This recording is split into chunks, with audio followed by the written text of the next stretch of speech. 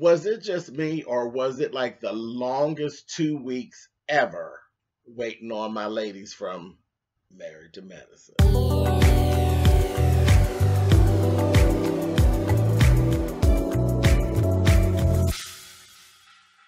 Hey guys, thanks so much for clicking on the video. This is my review for Married to Medicine. This is season 7, episode 10. And yes, last week the ladies didn't come on.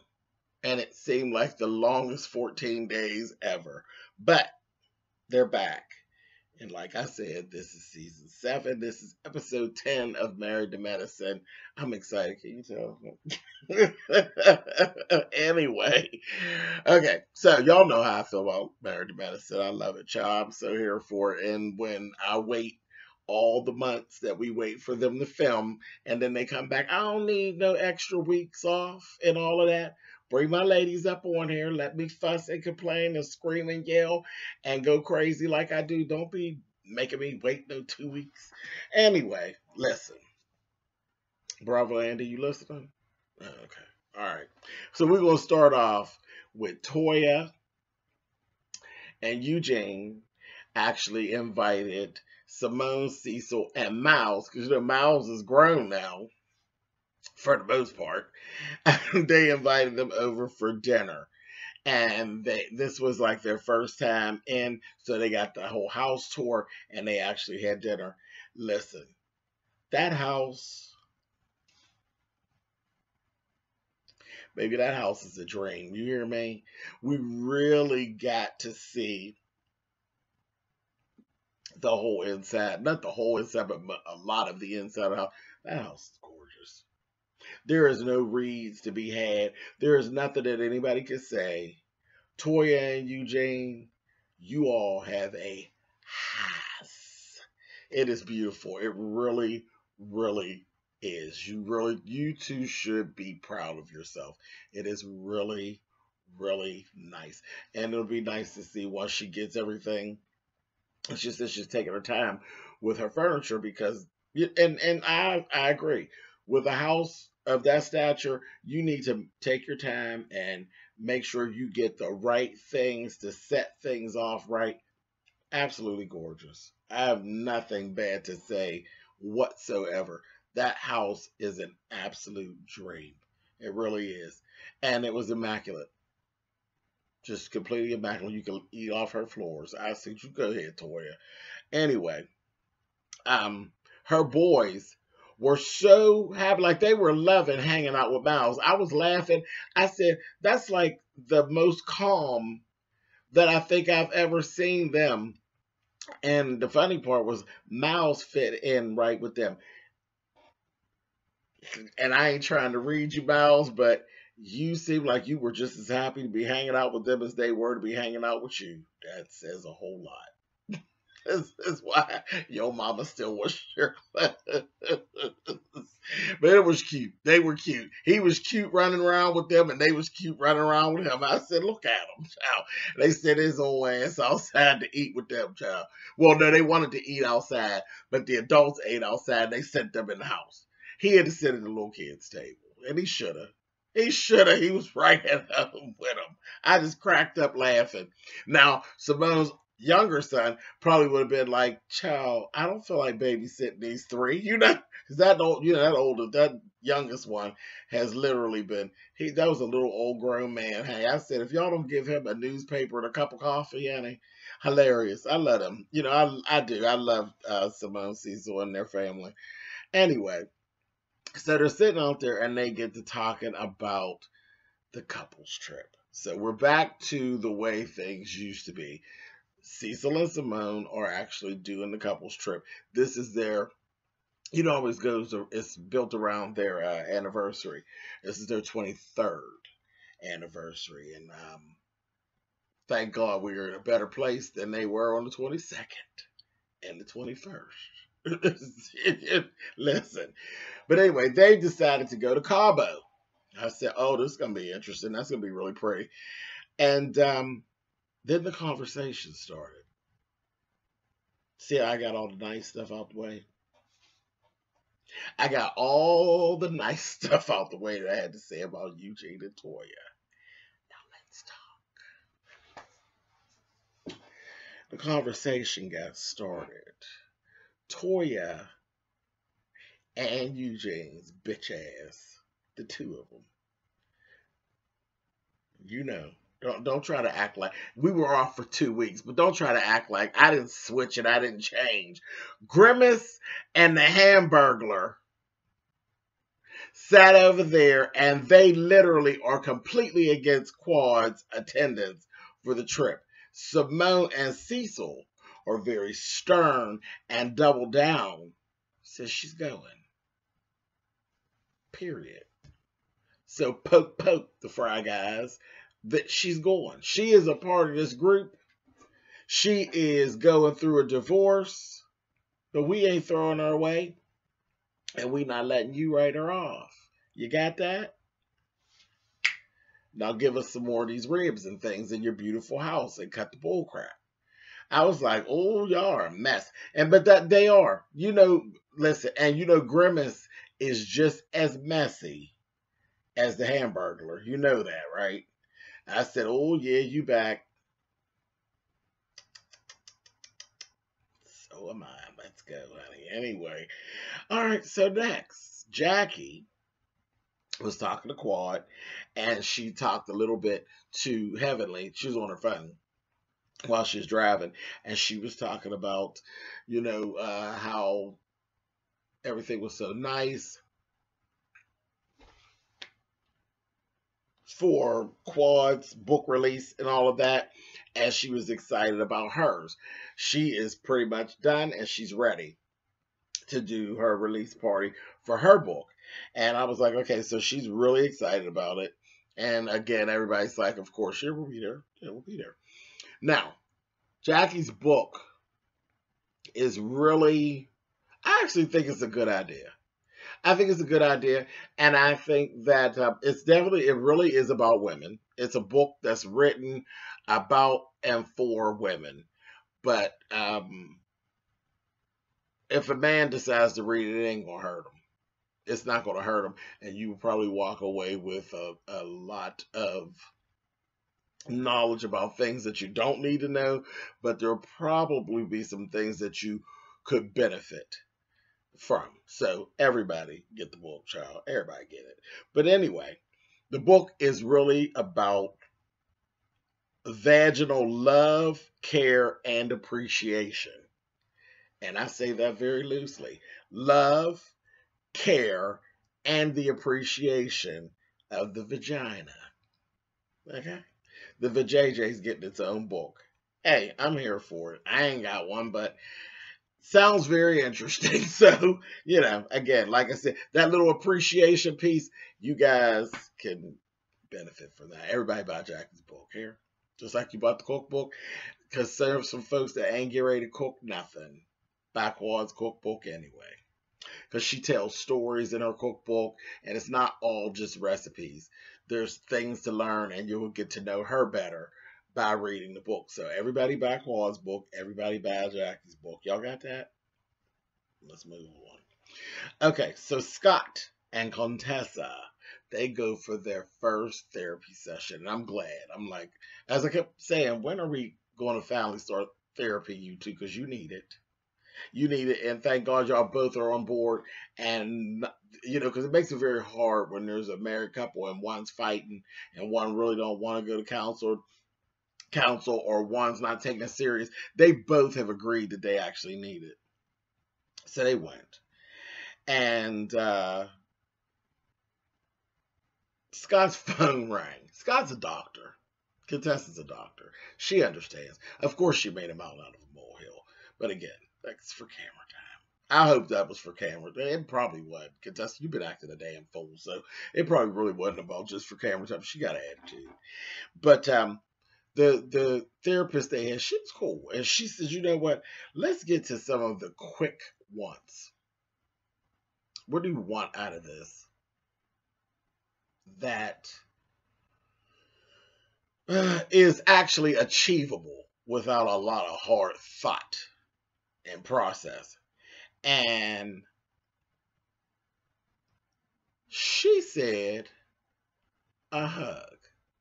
a hug, and he said statements that are not, you know, th- that are non-judgmental, you know. And I said, "Oof." I ain't even in their house, and I'm just sitting here watching, and I have seen that. That Scott, you are distant from Contessa. You know, you you you just kind of pop off and go do your own thing. You'd be like running away from her, and she is judgmental, so I can see why you run away from her. And she's so full of resentment. You know, it's it's not nice. Contessa, you come across as a real live bitch. And that's and don't a man want to be sitting up underneath that and then he's locked to you with a ring and some paperwork and some kids? Yeah, that's why he'd be running away from you, sis. But I said, yeah. I said, so they are both guilty of the things that they actually threw up there. And both of those things, those things are things they could control and it could, shouldn't be too, too hard. But when she was said, I'm going to get you, Scott. I'm going to get you. Just hold on. She was explaining how she kind of feels like he don't be want to be bothered and like he just disregards her and that kind of thing. And she was actually tearing up. Now we know because this is kind of tough. So she don't really tear up much. And I watched you, Scott. Your body language didn't change when your wife was literally sitting next to you and she started crying. Eventually you grabbed her hand but uh-uh, Scott, you losing your mind, man? She's sitting over there crying. The woman who doesn't cry, she says she feels unimportant. Is what that was her statement. She feels unimportant, unimportant to you, to you, and she tears up. The woman that doesn't cry, and you still sitting there. You gotta be kidding me. I said, hmm. And I just kept watching. I was starting to get the tapping my foot a little bit. And then he said, Okay, come on, I'm to hug you for a couple minutes. Yeah, you think? Very good, Scott. You was trying my patience, man. You know I like you, but you tripping. So I was like, "Oof, yeah, y'all really got to get it together." And I mean quickly, because you know they're like my second favorite couple on the show. I I like me some Scott and Contessa.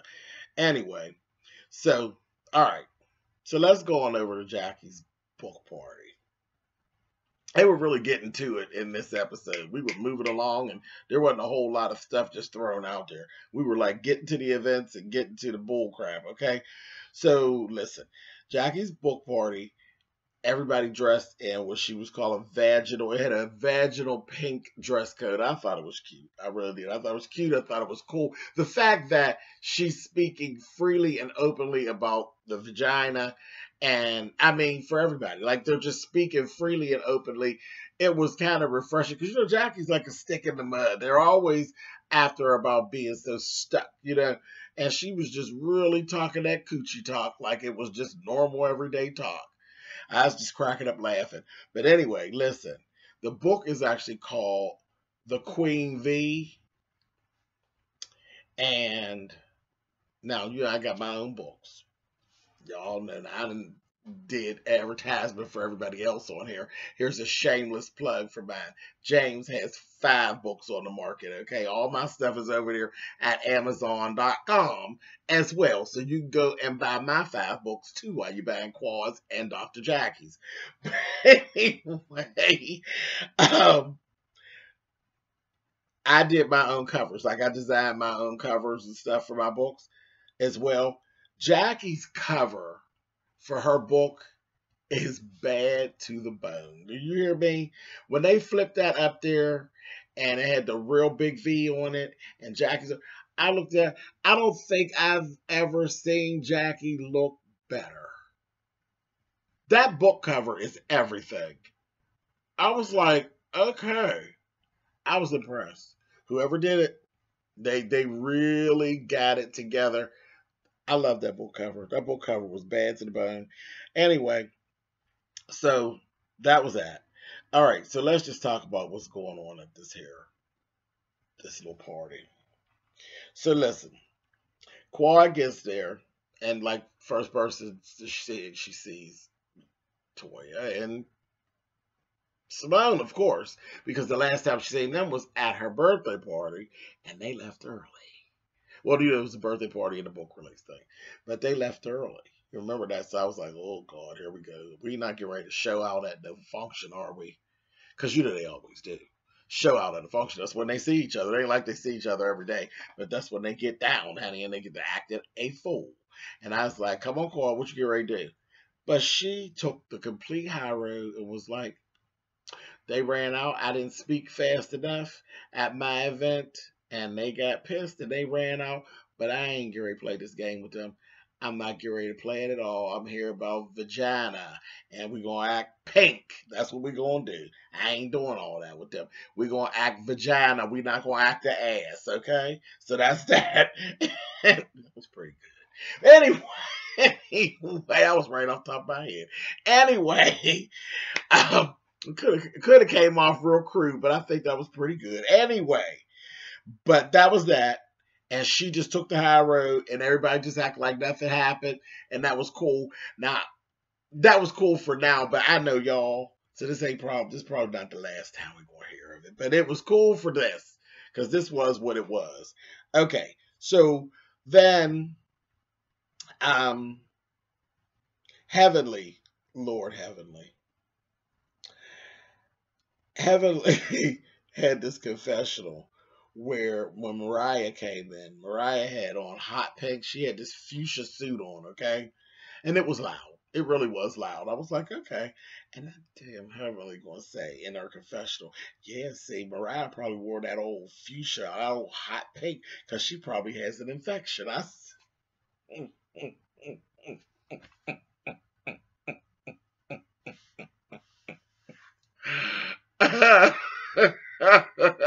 Heavenly, you were so out of order on so many levels. Anyway, I fell out laughing, and it's out of order, but whatever. So, okay, listen. So Jackie is giving a speech. She always gives a speech. She's giving her speech, and old Jackie she was talking about the importance of women being able to speak amongst themselves and being able to share things that you wouldn't normally share because when it happens you basically end up running into situations where there's you're not by yourself. And that's not just women that's just in general. That's just life. That's a life lesson if you're not so guarded and so sheltered, you will find out that you are not there. There's a whole lot of us, you know, walking around on the planet, but there's a lot of us, and a lot of us go through the same things. And if you open up a little bit, you'll find out you're not alone. And that was what that whole thing was about. Toya actually was doing a little confessional, uh, a little confessional splicing about her miscarriage. Okay. So, in the midst of the speech, Jackie was talking about the fact that she can't have children due to the breast cancer fight that she went through. And then she says, Buffy, you understand what I'm talking about.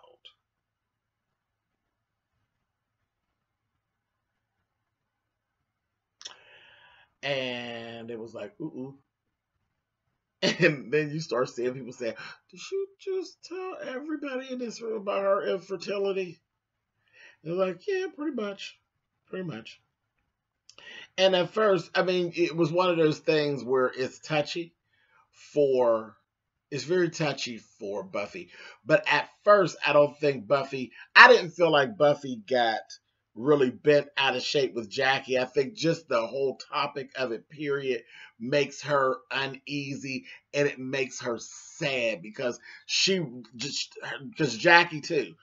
Those are th- that is the one thing that can break Jackie into tears. Jackie does pretty good with holding it together, but Jackie wants a baby. She, you know, there's some people that long for things and you just can't have it. So there ain't nothing you can do but cry. And that's one of them things. Buffy, same thing. Buffy's pretty tough. But that baby thing will bring her down. And then she said that. And then dig what took place after that. It showed you who's who in the room. Quad went over and consoled Buffy. After the speech was over and all of that, she went to Buffy and consoled Buffy. There was a lot of this. Oh, girl, oh, the, did she? Uh, oh, Jackie. Now, Jackie was out of order. But that was Lake, Mariah, Toya. The messy bunch.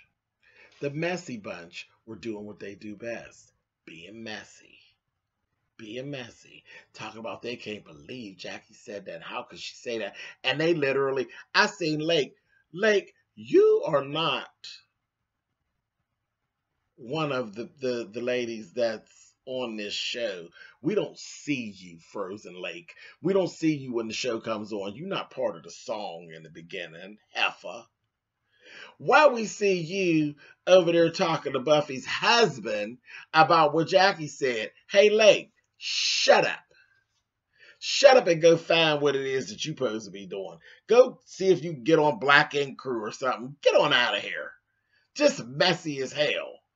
You and Shoot Lucy, I mean, y'all are a mess. Y'all do, y'all act like y'all are really like headliners on the show. Y'all always in the shit. More so than Mariah. I said, look at them.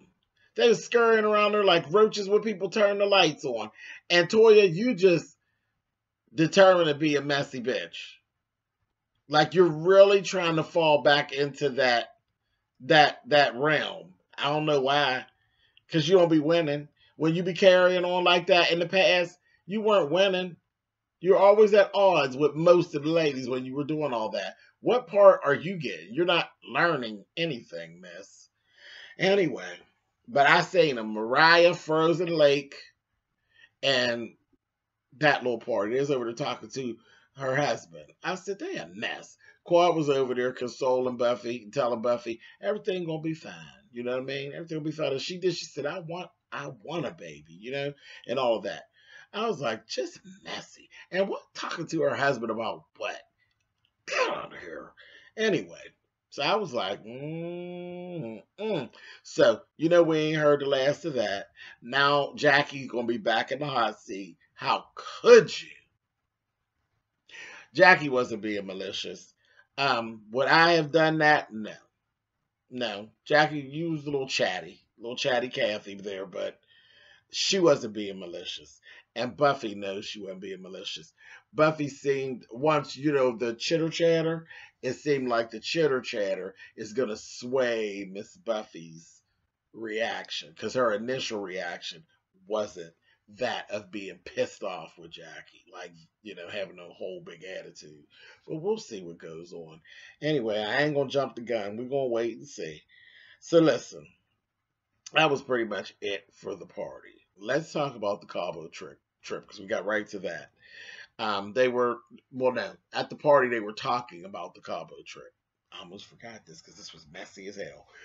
They were talking about the Cabo trip at the um, party. Everybody's sitting around, and at least messy ass Grimace and Hamburglar said what they had to say to Quad's face this time, and, and it didn't have to come in the form of a message from other people. They said to your face that they didn't want you on the trip. So there's no guesswork. You know at this point who didn't want you on the trip. And I have to say, me personally, me personally, I wouldn't even wanted to go on a trip with them. I would have been like, you know what? I'm not trying. I, I have an issue about uh, occupying spaces that people don't want me in, to hell with you.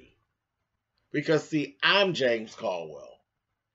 And if you don't get to know me, guess what? That is not my loss. If you don't get to enjoy me and my presence, that is not my loss. And see, that's how I live my life. So you don't want me to go on the trip? The hell with you. I don't need to go on the trip with you. Got my own, listen, got my own everything. My own money, my own way, and everything. Cora can pick up and go to Cabo anytime she wants. And she got other groups of friends. See, that's y'all just got done being mad about the other group of friends, and then look how you acting. Look how you acting. Toya and Grimace. Nasty. It was nasty. And I mean, was she because when Toya said side eye on quad on the trip, I was like, wow, isn't that something nice to say? Now I wouldn't want to go nowhere with them. But again, listen, get that money. Because, see, the, the bottom line is always green. So, you know, she's being paid to go. So, go on and go. Go on and go. But yeah, on a regular, just a regular, nah, I want to go nowhere with y'all. Even all the other ladies I love, I catch y'all somewhere else. Y'all going that that hoe ain't going. But I don't want to go nowhere with, with Grimace and the Hamburglar. No thanks. But listen, Simone stood over there and owned because they tried to. Ellen Mariah was, you know, she was putting her two cents in. Listen, little Bo Peep, ain't nobody thinking about you because you on barely there, girl. Because if you really get down and ask people what they really think, your ass would be on the bottom of the list too, hanging by your fingernails, honey. Because anybody trying to hang with you for real either. You and A didn't, not at all. But um, yeah, they was really pushing it and just really out with it. It just wasn't nice. It wasn't nice. It just wasn't a nice feeling. I was like, that's terrible. But Simone owned everything. They tried to throw back at Simone what she said. Simone owned. She said, yeah, I was wrong. I was wrong. At first, last last year, I was wrong. I had that same stupid way of thinking, and I was wrong. She proved me completely wrong. She went on the trip, had a great time. She wasn't groveling. She wasn't in nobody's way. And the only way we knew she wasn't there as a couple was because we knew, because she surely wasn't an issue for anyone. And I was wrong as she stood 10 toes down in the sand, baby. Listen, she's going. Period. Got it? Okay. And that was the end of it. I said, come on through, Simone. That's the Simone I like. I don't give a goddamn what you're saying. And you can try to throw back in my face whatever I said. I can retract it because I'm the bitch that said it. I said, come on, Simone. Anyway, so then they get ready for the trip. Contessa, you knew we couldn't get out of here. I'd already smacked Scott on the wrist. You know we couldn't get out of here with me, without me smacking you on your wrist. What'd you leave your man down at that damn TSA for? Who does that? See, it's the little stuff. It's that little stuff. Did you think for one moment that might have hurt his feelings?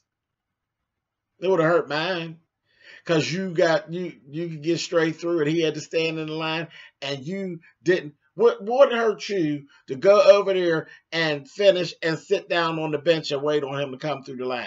You left him and went all the way to the gate. Out of order sis. Out of order. If y'all were where y'all weren't having any problems i probably wouldn't have said anything. But you are having problems.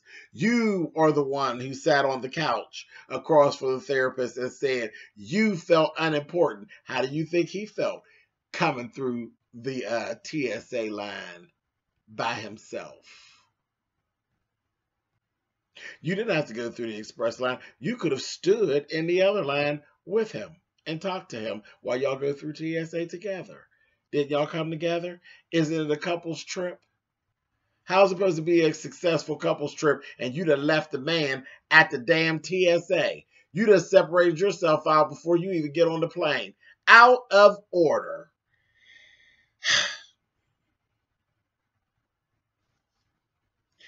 anyway, moving on. She know better than that. Okay, so when they get there, they said one couple is going to get to have a penthouse suite and they had a dance off for the penthouse suite. Lord have mercy. And they got up and danced, and everybody, Jackie and Curtis didn't dance.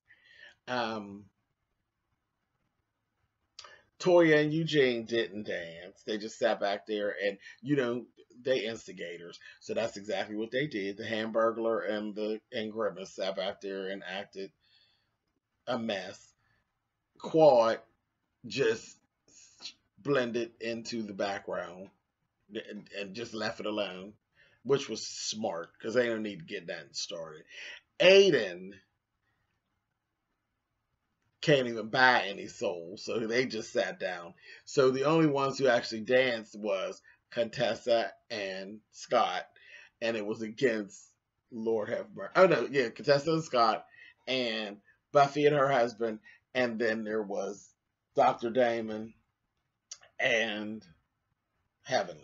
And Heavenly's like, oh, that's all right, Daddy. I got it. I got it, Daddy.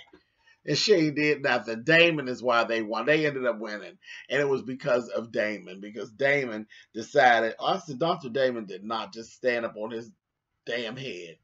He did a headstand. I said, child, y'all might as well give it to him because he damn near broke his neck. Put all that meat up on that damn neck. I said, Lord, that little bit of neck he got. I said, boy, you better quit. I bet I wouldn't have got up on my head, honey, because I know better. But we were laughing when they were doing uh, Scott and, and Contessa. They was doing their little thing, honey. They was busting it down. Just said, remember, he used to be a rapper. Child, they gonna show this old picture of us. I said, well, go ahead, Scott. He got up there gonna say, child, he got his Bengay and everything else out there. I said he gonna need it and some Anbesol and everything else. They was on there doing a little caterpillar thing on the floor. I said, boy, you gonna be hurting in the mountain. You gonna be hurting. But yeah, it was good. And that was where we actually broke out from here. So ain't nothing really got started yet, but it's going to get started. Ain't Mariah and Aydin there? Ain't Grimace and the Hamburglar there? There gonna be some shit. Yep. And Qua's there, and they, they didn't want her there. Yeah, there's gonna be some shit. Anyway, but um, it's gonna take a different turn. It's gonna be something different, like we ain't never seen old Miss Jackie. Keep your eye, your good eye, on Miss Jackie. And that's all I got to say. Later.